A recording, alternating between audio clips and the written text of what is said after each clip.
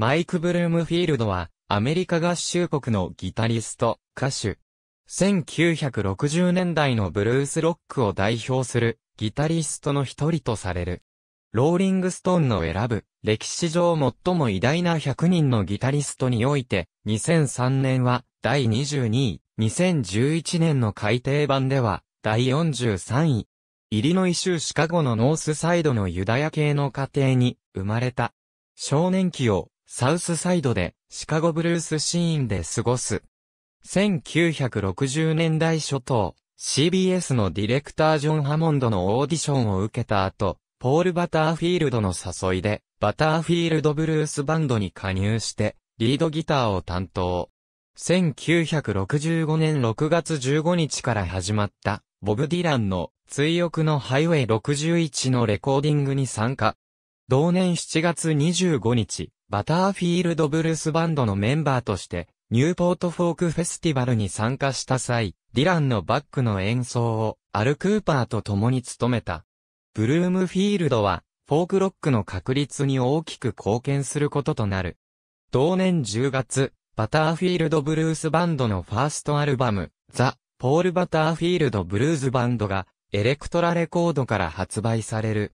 そのエレクトリックスタイルのブルースは、シカゴのブルースシーン自体にも影響を与え、多くのブルースマンがエレクトリックギターを手にするようになった。1966年8月、バターフィールドブルースバンドは、イーストウエストを発表する。LSD による覚醒をもとに、ジョン・コルトレーンのようにジャズやインド音楽などの影響を取り入れた新境地を開拓した。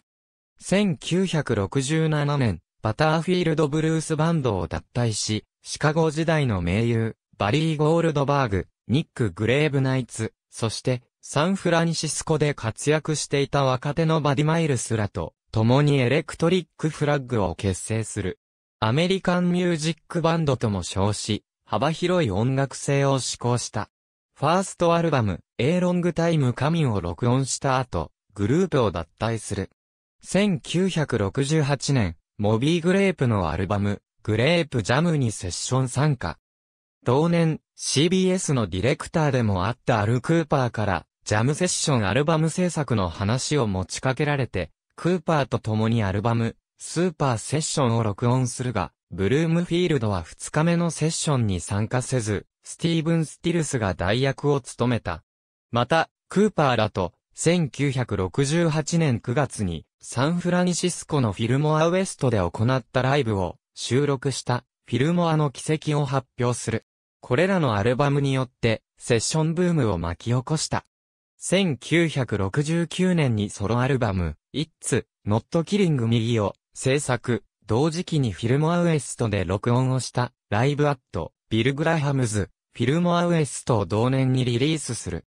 1970年代以降、ヘロイン中毒のため目立った活躍が少なくなるが、1973年に、ジョン・ハモンド・ジュニアや、ドクター・ジョンとの、三等政治や、カーマイン・アピスラとのグループ KGB でアルバムをリリースした。また、インディペンデントのレーベルに録音を残すなどしている。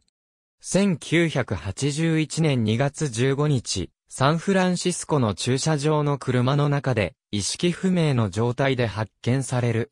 ヘロインの過剰摂取による死亡と考えられている。ありがとうございます。